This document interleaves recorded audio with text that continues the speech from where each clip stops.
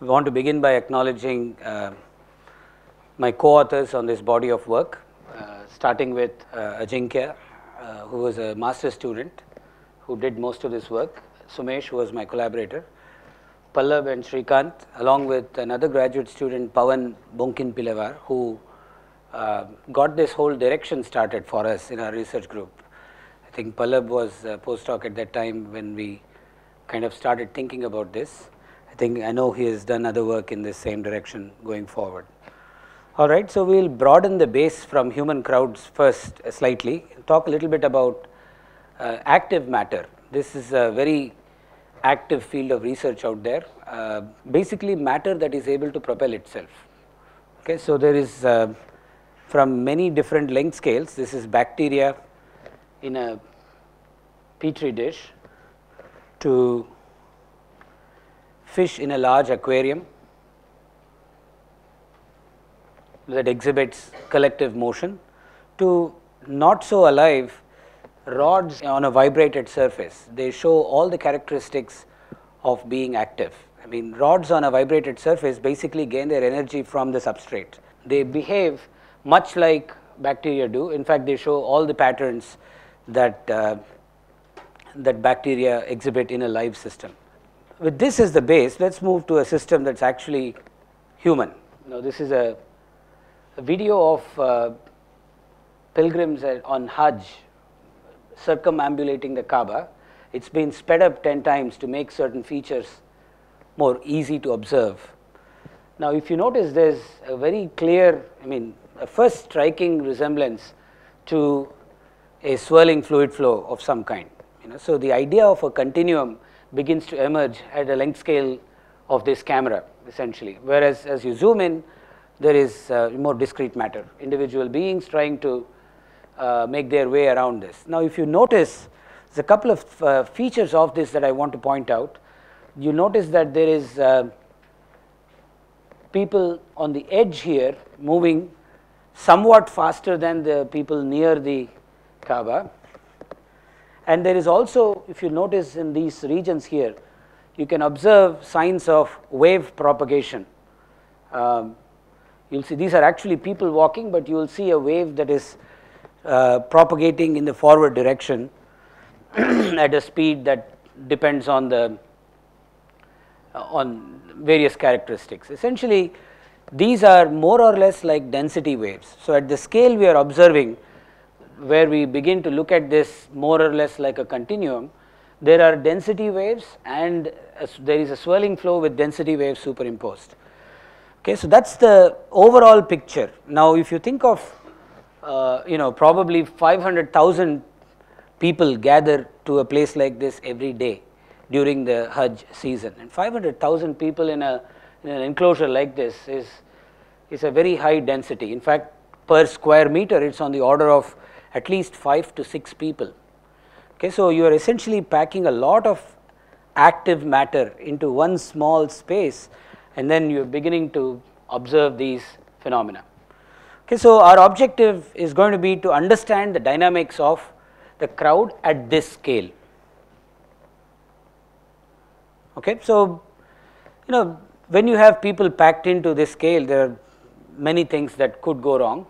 Stampedes make news quite a bit. This gives you a quick picture of, you know, for the in the last 50 odd years, where all have uh, stampedes happened. And if you look at a quick view of fatality versus the actual crowd gathered, there is not much of a correlation. It's very weak at best. Okay? Now, what this suggests is that there is no the actual number of people gathered into an enclosure is not really the problem, it is the dynamics of the crowd that seems to make a, a difference of some kind. A picture, uh, you know, we saw the Hajj, you know, that happens once a year. There is another scene that actually bothers me quite a bit in this scenario. This is, a, it's been sped up 10 times, but it's a picture of uh, people in Delhi getting out of the metro and getting in at Rajiv Gandhi Chowk station every day, twice a day. If you look at this from that same zoomed out perspective, what you essentially see is a jet of human beings exiting into a crowd uh, of a crowd that is practically stationary.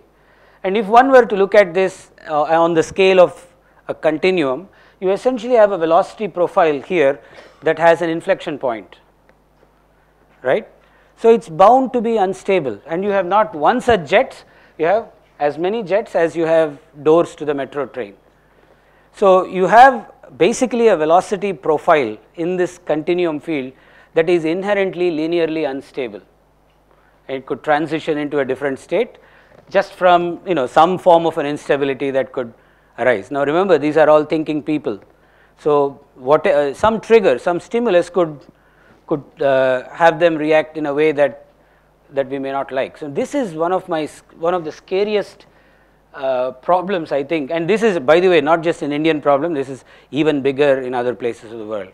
So let us quickly do a, a, classification of the literature uh, as to who has thought about these and in what context. Okay, the continuum models as it turns out were the first they came before these so called agent based models. Uh, civil engineering community has looked at continuum models for traffic for a long time and uh, so the agent based models are more recent. We will focus more on that because that is the body of work we will discuss today. That started with, uh, with Vicsek and Helbing, they kind of, they were one of the early people to look at agent based models of human behavior.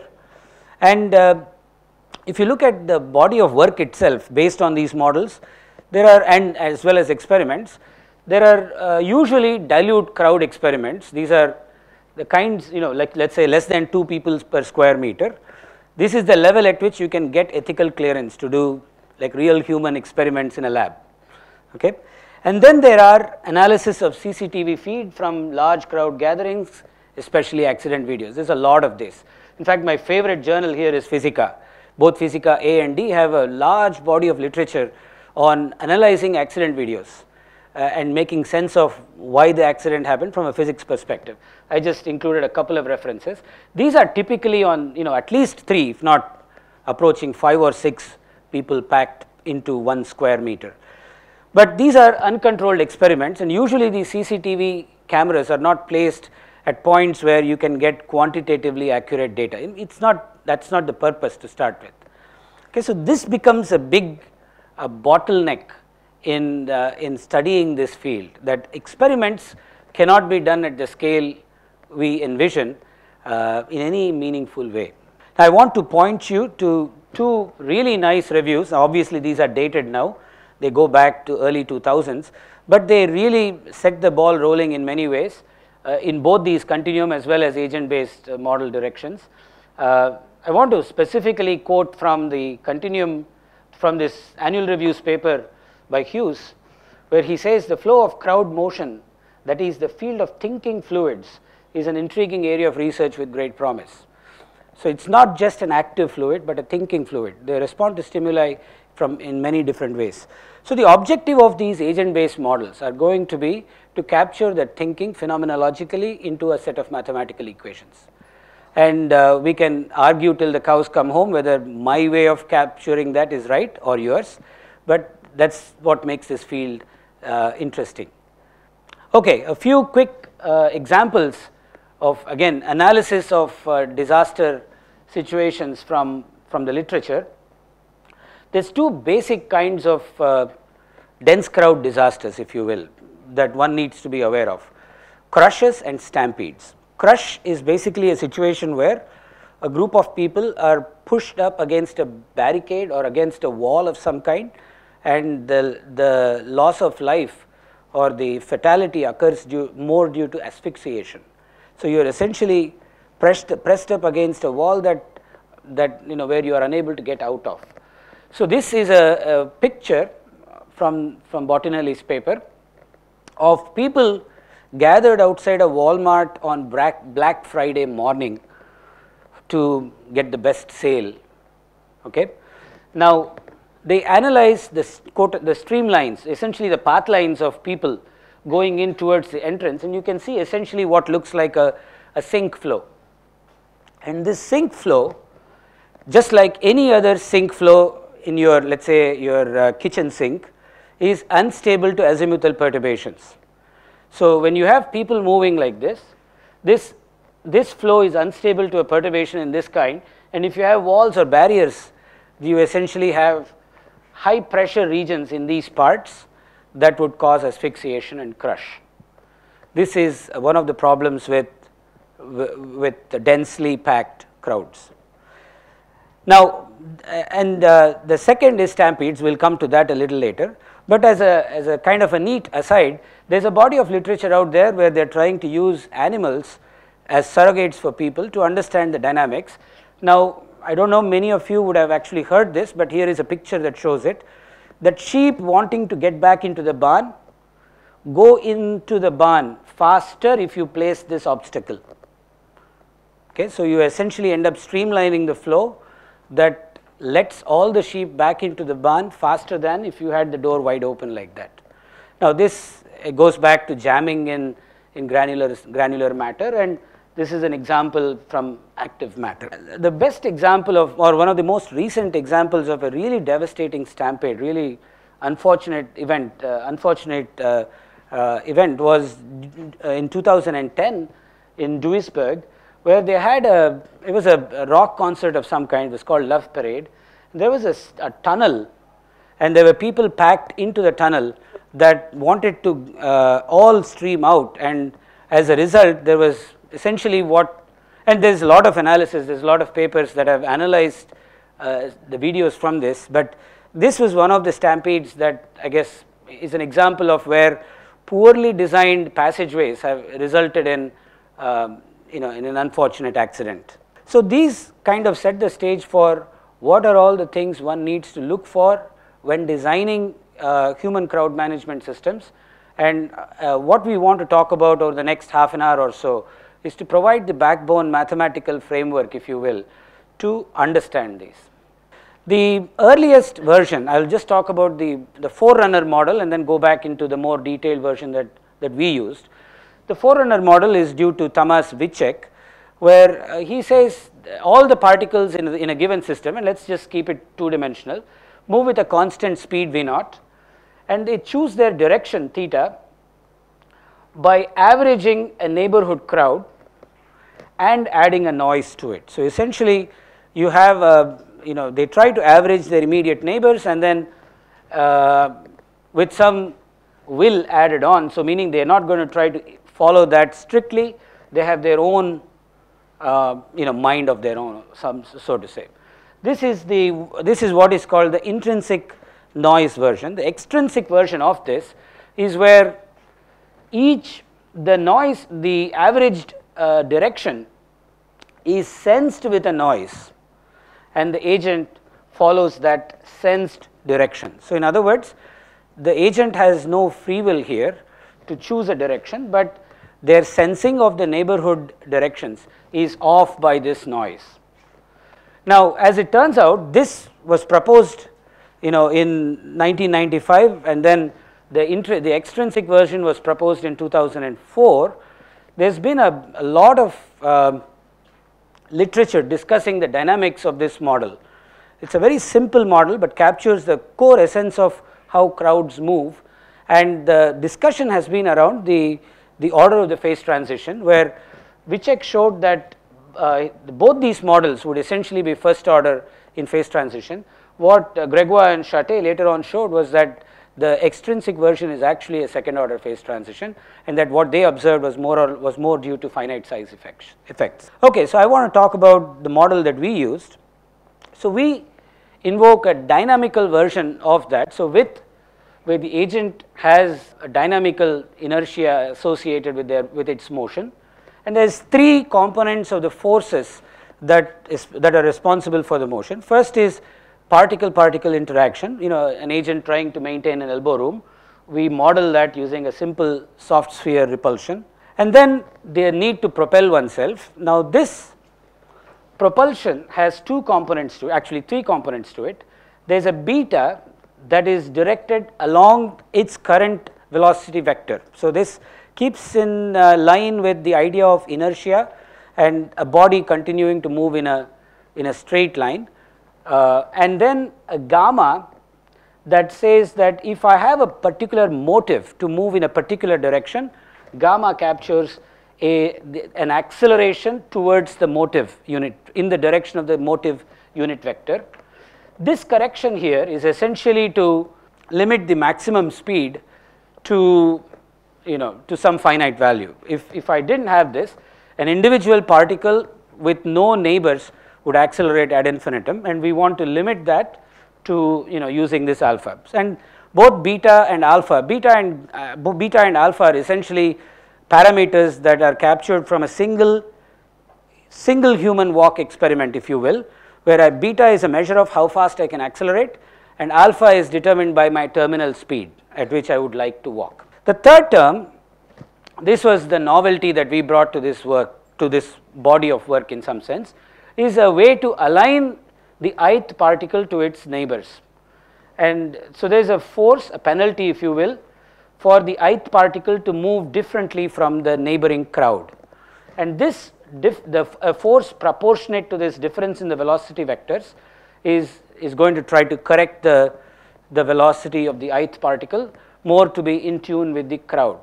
And the crowd the local crowd velocity is calculated as a weighted average of all the j neighbors uh, with a Gaussian weighting function if you will. So, as the particles move farther and farther out uh, the particles are farther and farther out from the center of the ith particle the its their effect goes down exponentially okay. So, this is the the basic model that we are going to use to you know for the duration of this work okay. So, let us start by looking at some so we will keep coming back to this parameter mu okay, mu is basically captures the the inability or ability of an individual to align with their immediate neighboring crowd. We are going to keep all other parameters constant and focus on varying mu as to understand the, the dynamical transitions that are expected. Okay. So, some simple definitions we will use we define an order parameter which is basically the, the radial speed the average radial speed and the average uh, which is a function of the average radial speed and the average azimuthal speed one could also use the angular velocity as a as a scalar order parameter, but you know we chose to do it this way. The reason being an angular velocity is best defined for a circular enclosure like we have chosen for this body of work, but if one wants to generalize this work beyond just a circular enclosure then you need something slightly more detailed. Okay.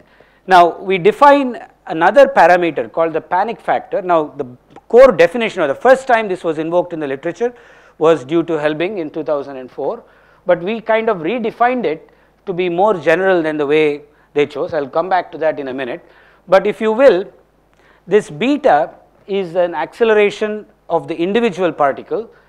So, this panic factor is a ratio of an individual's desire to move in a, in a chosen direction as a fraction of the total desire in terms of the individual desire plus where the crowd will take the person. So, this fraction would basically dictate how dominant the crowd is going to be on the given individual. And then finally, we define a thermodynamic pressure this you know is basically the variance of the velocity as calculated from an immediate neighborhood of the ith particle and this variance basically tells you kind of the randomness in motion around a given individual and if you will the the pressure due to collisions that that individual is susceptible to. I will show you three videos at three different values of mu. The lowest value is where uh, there is very low coordination if you will between the crowd and the individuals. Now I must say that the red and yellow particles are all alike it is just a way to show us visualize where the particles are going. So, that gives you what more or less looks like thermal diffusion. Okay, so, essentially people meandering around with no attachment to their neighbors. At a slightly increased value of mu, you see that the that the whole phase is practically frozen or in some kind of an oscillatory uh, motion. You can see there are you know wave propagation is prevalent here and it essentially comes from the soft sphere potential uh, that basically allows individuals to keep elbow room to maintain an elbow room. And then finally as mu further increases you start to get large long range collective motion okay? So just by varying mu which is our parameter that defines how well coordinated an individual is to their immediate neighbors one gets uh, three different kinds of dynamics. Okay, so we now go through a whole series of experiments, numerical experiments where I start with a very low value of mu and then simulate a higher value of mu with the dynamical steady state achieved from the previous value of mu and continue parametrically continue mu. What we see is that there is a critical value mu 2 at which there is a sharp jump to a, an orderly motion state. And then as you continue forward meaning increase mu you go down that path. From here as you decrease you reach another second critical value we define called mu 1 at which there is one more sharp jump back to the disordered uh, state. Okay, so I will just quickly play these two videos which are, so you see this is in the orderly motion and a, a small change in the mu at about 10 seconds, you start to see the early signs of it slowing down if you will even before the slowdown happens and then it goes into what looks like either a frozen or some kind of a diffusive motion kind of a state. Okay, and this is a like we say it is a sharp transition.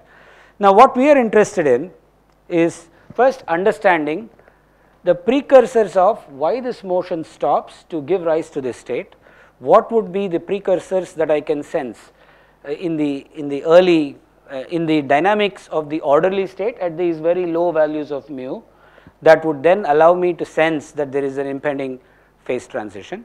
And secondly, we want to understand what are the uh, is there a way to reverse this phase transition. So, in other words at let us say I have a certain coordination between individuals a certain value of mu and I am in the disorderly state what does it take for me to get this crowd moving. So, that is that is going to be the two questions we will try to pursue answers to. Okay, so these were both spontaneous transitions. So, we ask now the question if I am at some value of mu between mu 1 and mu 2 can I force this transition to the ordered state. And in order to do that we say I will pick a group of individuals okay. Now in the while the system is in the disordered state I am going to pick a group of individuals and I am going to give them a motive to move in a particular direction of my choice and I am going to see the energy or actually more specifically the impulse required to to make this transition happen. So if you look at this this is the imp I am going to pick ng individuals each of mass m having an acceleration gamma that I leave on for a time duration tau. So, that is an impulse that I am giving to the system and I am going to see how much what does this impulse do to allow this system to transition from the disordered state to the ordered state. So, as it turns out it is also a sharp transition not surprisingly that for if I let uh, this i by p naught be like 0.62 the system is dragged up to a particular value of order parameter, but it relaxes back to the disordered state where the average speed is 0. But if I go to a slightly higher value, you essentially have the system transitioning to the ordered state. If this is because any time you have a, a hysteresis loop like this, you have a separatrix and you have to take the system up to the separatrix for it to spontaneously transition back to the ordered state. So, the question is where does this separatrix lie? As it turns out because these are not equilibrium problems, these are all dynamical phases, these are non-equilibrium, the specific arrangement of these ng individuals now has a bearing okay, because the velocity field is heterogeneous in the ordered state. There is a preferred location of these ng individuals where the separatrix is closest to the disordered state or makes the transition as easy as possible. So, we looked at several different arrangements of these red dots or our what we call our game changers including just randomly placing them everywhere to placing them at different annuli. Okay. As it turns out these are the separatrices that you get numerically obtained from simulations for different values of the game changers placed uh, different ring radii as well as where they are just placed kind of in a dispersed environment. The blue line which corresponds to r by r of 0.7 gives us the optimal placement at which so uh, of these game changes at which the system has to be has to cross this value of order parameter before it spontaneously uh, goes into an ordered motion state. So now we are left with the question why is this r by r of 0.7 optimal for this problem Okay, so we'll come back to answering this in a little bit. The game changers are essentially, I want to, the disordered state is where the, it's in a thermal diffusion kind of motion, right? The ordered state is where it's in a motion along the azimuthal Uh, direction. So gamma essentially forces them to move in E theta direction. So imagine these red dots moving along E theta for a time duration tau, okay, and then they stop.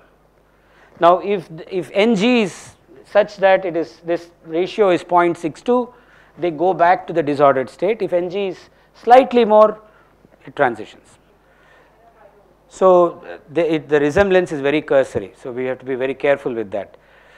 Uh, yes the, the fluxes or the momenta are conserved on, on the individual particle level but I must also say that that mu term results in a net dissipation so the total energy, so in other words if at particular if an instance if at an instant beta went to 0 sharply for all individuals motion would cease after the dynamical effects have been forgotten. Okay. So in some sense momenta is conserved momentum momenta of all the particles are individually conserved but uh, it is net dissipative. So I want to show you the fluid dynamic velocity field if you will. Okay. So these are the time these are the instantaneous agent velocities, they show a nice azimuthal motion for the most part. The right half is what we defined as the panic factor redefined down here. Okay. So, you can see that there are regions near the wall where this panic factor is close to 1 meaning it is dominated primarily by individual motion. Okay. But the minimum value which happens somewhere here is actually half, it never goes below half. I will come back and talk about why. On the, on the right hand side, we define the crowd pressure as the variance. Now, by the way, we also looked at many other different measures of stress in this field, uh, including mechanical stress induced by the spring potential force.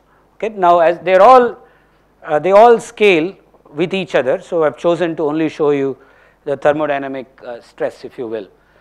Now, the thermodynamic stress in the rotary phase is highest near the wall here and uh, whereas in the disordered phase it is more or less uniform. So, while you have low stress and high stress patches while the crowd is moving when it is in this disordered state it is more or less homogeneous the stress state is more or less homogeneous.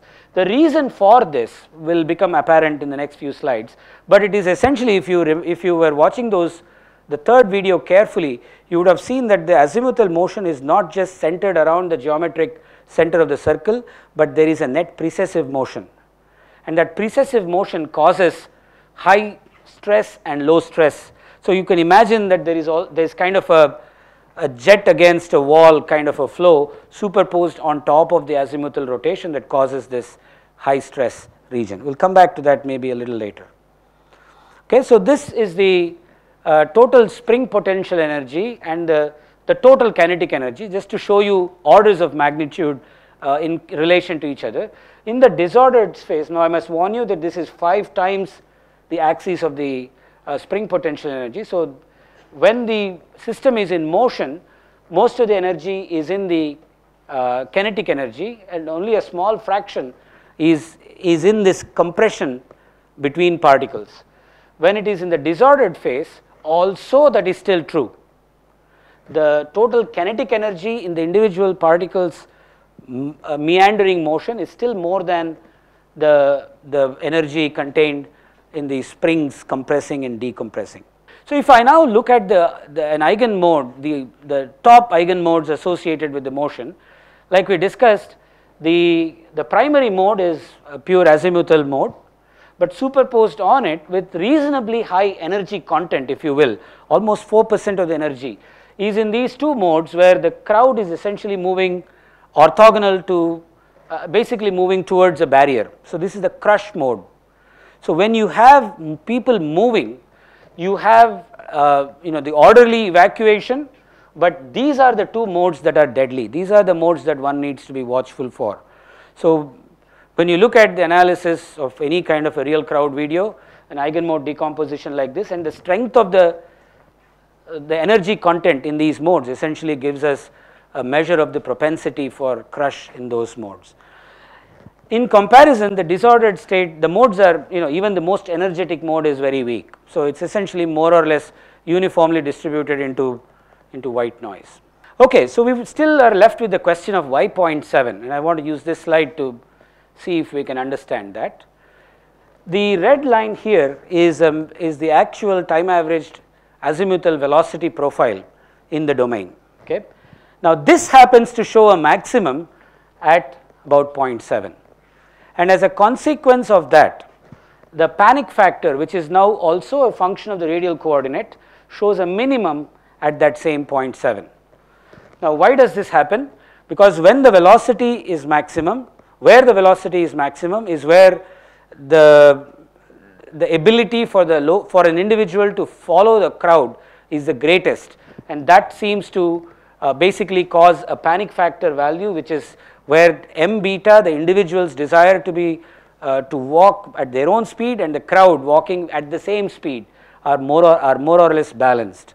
So, when these two are balanced in fact that gives us the magnitude of the crowd velocity if you will.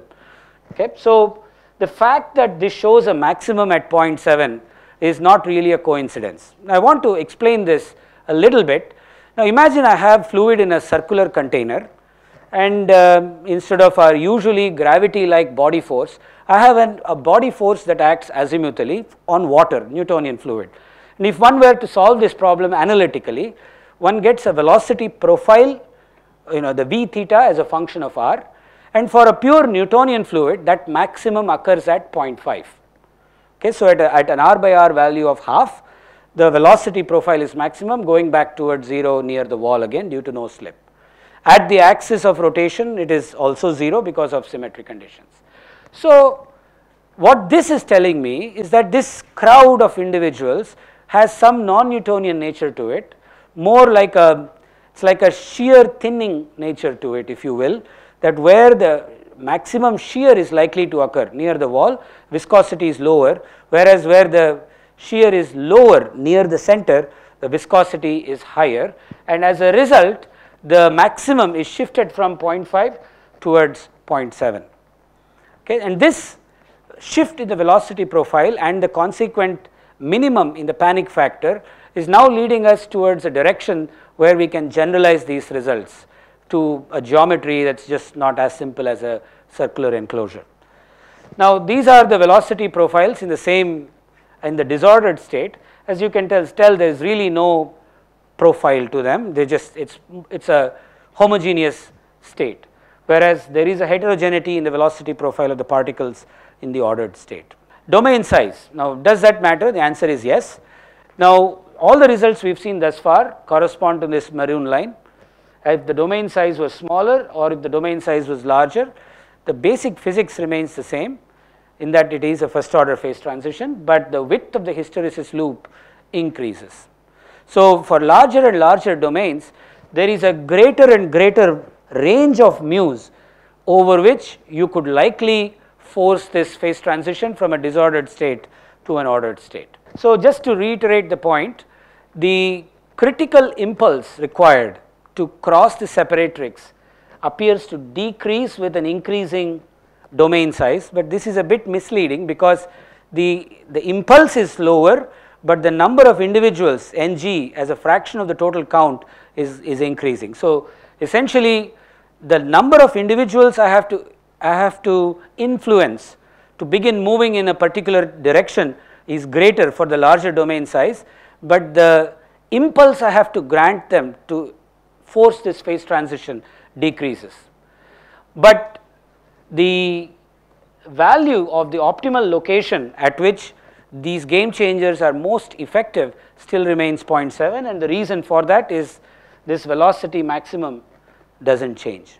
So, just to confirm that this is indeed a phase first order phase transition, uh, we calculated the Binder cumulant of this uh, uh, from this order parameter and what we see is a sharp dip in the order parameter just prior to the transition and then again settling down to a uh, a value from between from 2 thirds to 1 thirds. And uh, the fact that the, the magnitude of this dip is increasing with domain size is also a feature of a first order phase transition to understand size effects. Okay, just to show again that what we are discussing is not an artifact of just a circular domain.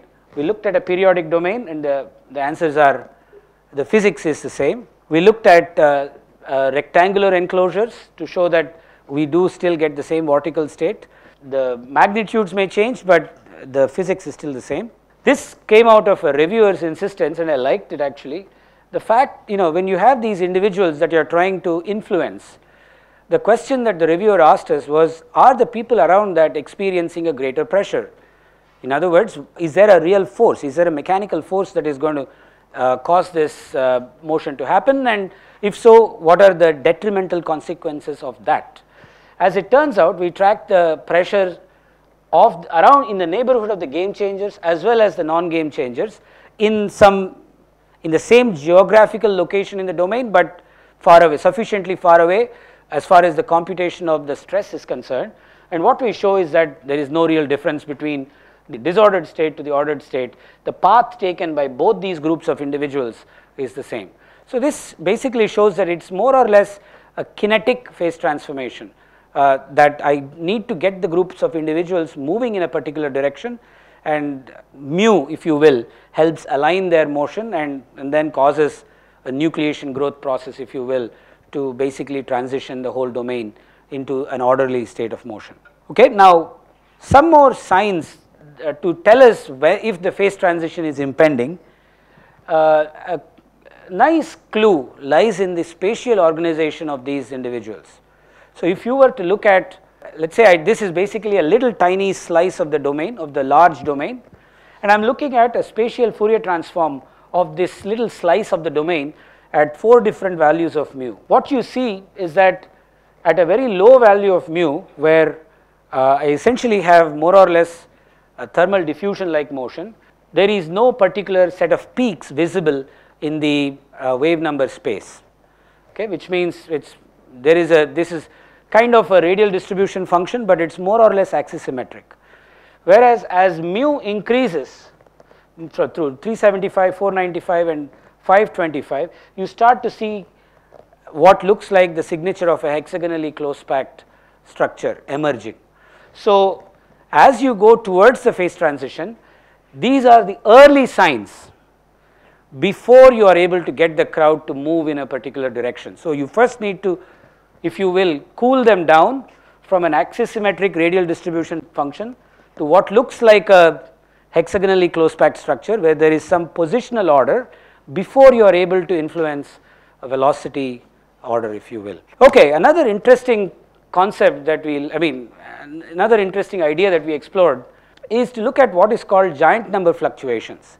Giant number fluctuations is basically where if I take a small part of the domain and I want to see if the variance of the particle, the standard deviation of the particles in the domain would scale as square root of the mean number of particles. If they will, that means I can use all the power that central limit theorem gives me to understand the averaged properties of this system.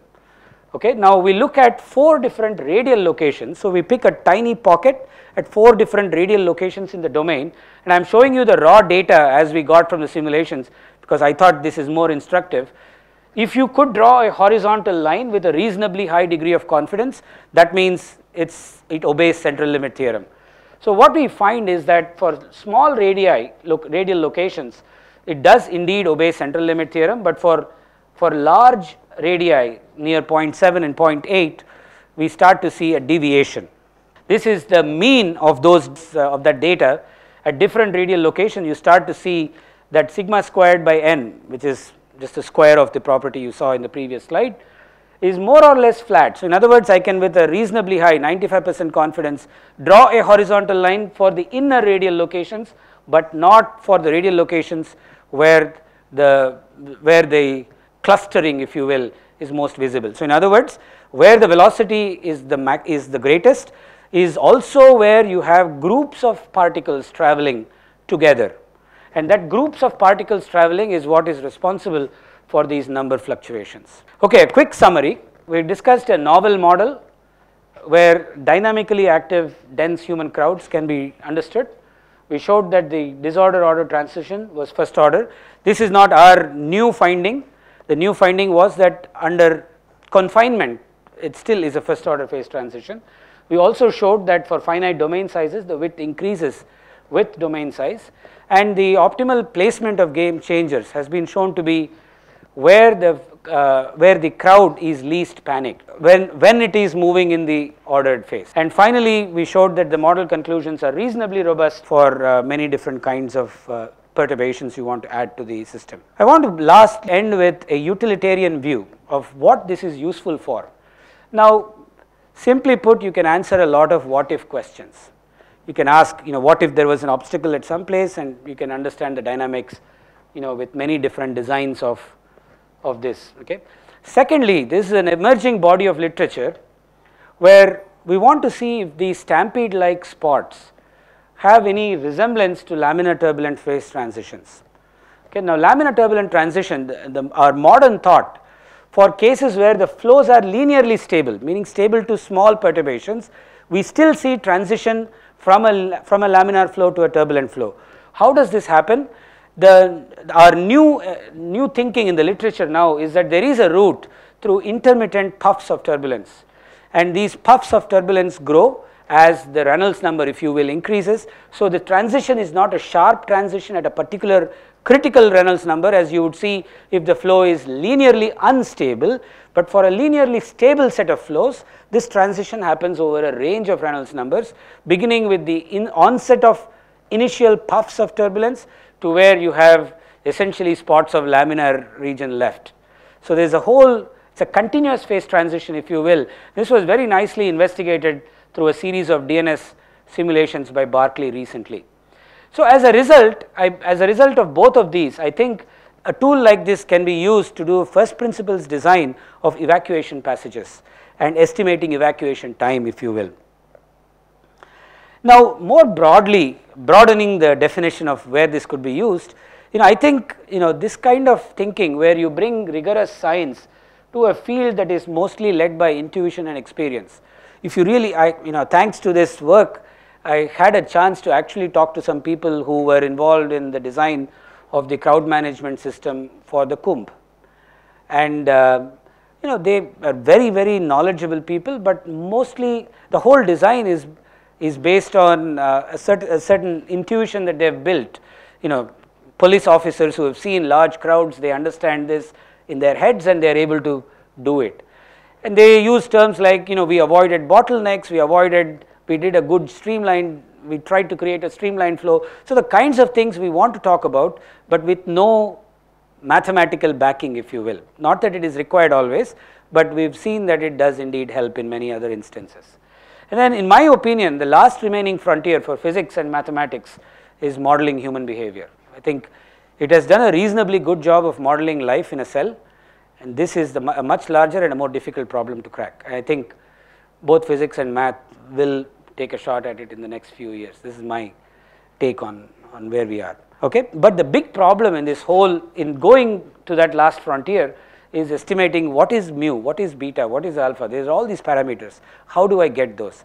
I think early signs of answers to that are also available in the way we use data for example. There is a lot of data now available so imagine everybody at the Kumbh probably had a mobile phone on them and they were all transmitting their GPS locations to somebody and if one had access to all the data potentially one could develop algorithms to estimate these parameters. But I think this is the big problem as we stand. So in other words like I said early on in my literature classification slide there are no controlled experiments possible at this scale which means you are left with accident videos or other CCTV footage and you have to go to work with it essentially and do some form of estimation. So imagine I had an enclosure like this just to generalize the problem that we discussed. If one were to imagine a streamline and a couple of vortices in these two corners, this would be the optimal placement location for essentially invigorating a stagnant crowd to start moving in a you know towards the exit if you will. Okay, you can reach out to any of those recent publications, some from our group and some from uh, from other groups uh, for more on these. Okay, thank you very much for, for your attention. Appreciate it a lot.